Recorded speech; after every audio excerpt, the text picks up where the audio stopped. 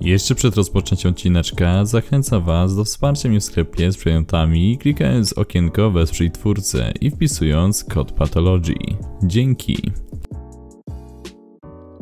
Siemnaczko ludziska, z tej strony Patol. W tym odcinku porozmawiamy sobie o nadchodzącej współpracy Fortnite z Batman, więc zachęcam was do zostawienia łapeczki oraz subika i lecimy. W dzisiejszej aktualizacji 10.31 wykopywacze plików ujawnili parę fajnych informacji. Jedna z ważniejszych to oczywiście kolejna współpraca, dzięki której będziemy mogli zdobyć kilka przedmiotów za darmo oraz darmowe stopnie bojowe.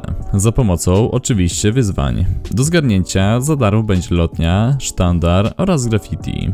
Teraz widzicie wyzwanka, które pojawią się już wkrótce. Wraz z współpracą zmieni się prawdopodobnie Tilted Town. W plikach mamy już nową miejscówkę, która zastąpi dotychczasowe Tilted. Pojawią się również nowe dwa przedmioty, specjalny grappler oraz batmański ala boomerang.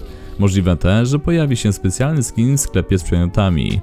Kiedy wszystko się pojawi, prawdopodobnie do końca tego tygodnia lub w przyszłym. Zaglądajcie w serwisy z newsami. I to tyle, trzymajcie się, cześć!